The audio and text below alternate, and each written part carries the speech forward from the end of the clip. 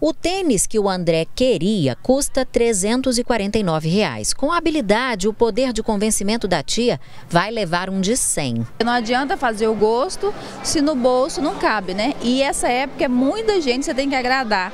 Então, tem que agradar todo mundo de acordo com o seu orçamento. Foi um bom presente? Foi um ótimo presente.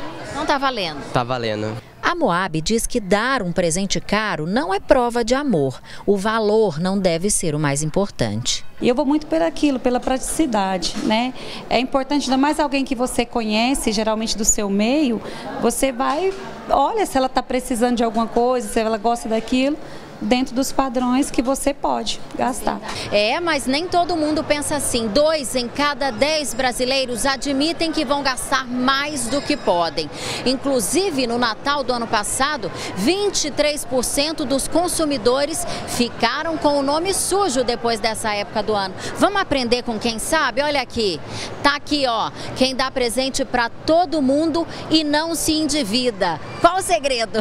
O segredo é economizar, comprar presentes baratos para entrar em 2019 com o pé direito sem dívidas. É isso aí. Que caiba no bolso e no saco do Papai Noel. É ho, ho, ho! É a mesma matemática do economista. A segunda parcela do 13º não é para ser torrada. Você tem que, que guardar parte disso para que você possa é, fazer as é, normalmente pagar as contas pontuais que você tem em janeiro, janeiro e fevereiro, que normalmente são matrícula escolar, IPVA, IPTU, é, coisas que, que praticamente não tem como você adiar. O levantamento da CDL mostra que 28% dos consumidores já têm contas em atraso. 5% vão deixar de pagar algumas delas para comprar presentes.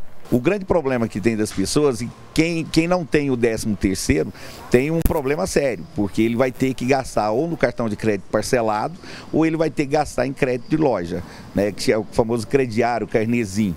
Então a pessoa tem que tomar cuidado quando for comprar, principalmente, porque os juros são muito mais altos do que o, normalmente aquilo que é cobrado no mercado. O Rafael é tão precavido que antes de qualquer coisa passou na papelaria e já garantiu os materiais escolares. A gente faz a primeira obrigação, né, já sabe mais ou menos quanto que tem para os presentes. Desse jeito aí eles vão ficar felizes e você também. Também, porque não fica com dívida, né? A Valmira também garante que não vai gastar 180 reais com a boneca que a neta quer.